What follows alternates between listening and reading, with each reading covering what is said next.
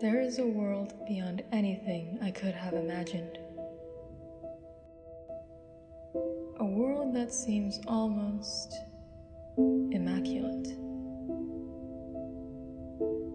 Nothing there needs anything to live besides the mysterious energy of the planet. We call it starlight.